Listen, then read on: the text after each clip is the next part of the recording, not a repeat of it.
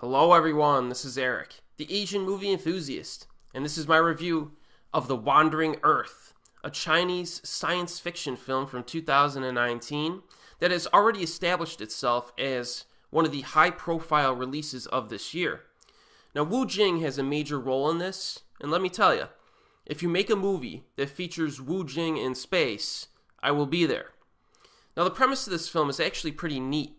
The sun is dying out, so humanity needs to escape the galaxy and find another home. But instead of using spaceships for travel, people from around the world build thousands of giant planet thrusters to move the Earth itself out of orbit. Now, unfortunately, there are all kinds of life threatening repercussions to this strategy.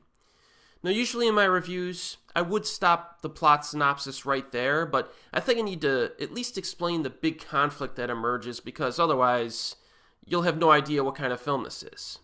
So, early on in the film, we see that the initial break from orbit is a success within the first like 10 or 15 minutes.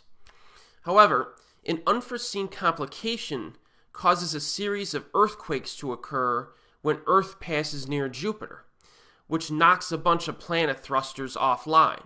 And because of this, Earth gets caught in Jupiter's gravitational pull, and humanity must find a way to escape that orbit or the planet will be destroyed. Now, most of the runtime in The Wandering Earth is spent on battling that specific problem. So, with all that in mind, you could probably tell that this is an action adventure drama with lots of life threatening situations at play. Now, fortunately, the annihilation of humanity is right around the corner. Um, and, you know, that really creates a situation of constant urgency by the characters. You know what I mean? There is a band of protagonists that we follow for much of the film, and their individual lives are in danger as well. So, you know, they're rushing to different locations in an attempt to avoid this cataclysmic event. But then again, you know, this is similar in some ways to Hollywood disaster movies as well. You know, some of which were not very good, right? The worst kinds of film, or the worst thing you could have in a film like this, is when it becomes extremely monotonous with a bunch of CGI vomit just getting thrown in your face the whole time. You know, and it, it could get boring really quickly, regardless of a uh, life threatening situation, right? That's the biggest potential problem for this film. But I have to say that, you know, as a sci fi spectacle blockbuster style of film, The Wandering Earth is entertaining stuff, I think. You know, one huge region, reason for this is the environments, which are very nicely realized.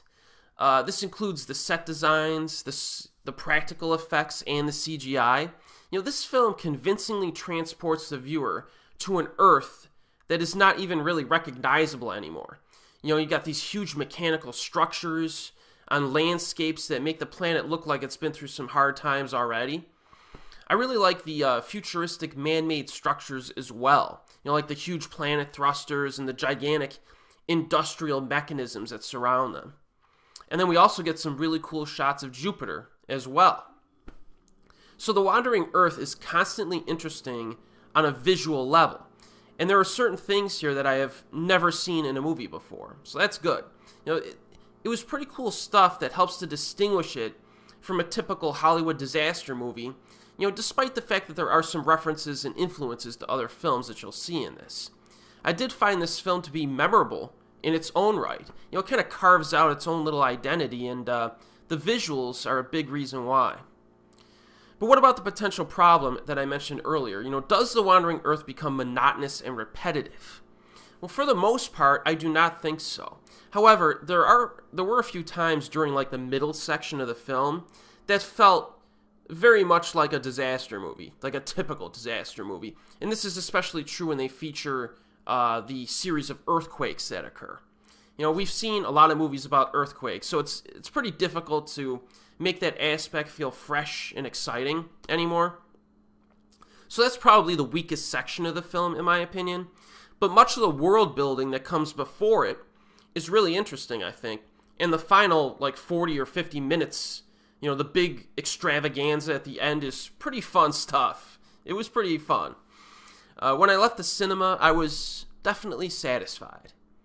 Now the characters in this are merely sufficient. You know, they're they're a likable bunch for the most part. Wu Jing's character is actually separated from most of the main cast because he's in a space station uh, that's orbiting Earth, and he has his own problems up there that he has to deal with.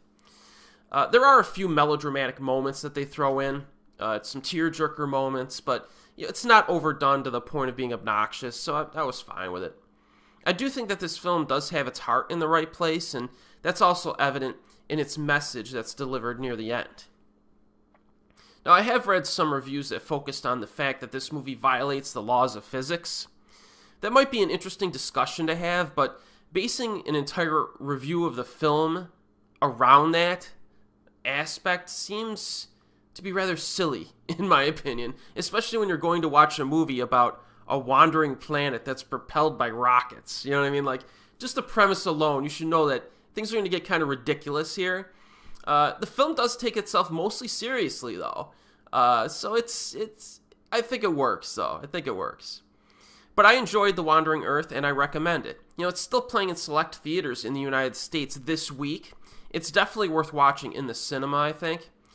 Netflix bought streaming distribution recently, but there's no word on when they're going to release it on their website. So look out for it, though. This is a pretty fun movie, I think, and uh, yeah, it, it'll be one of the, the big titles that comes out this year from China. And as always, we'll see you next time.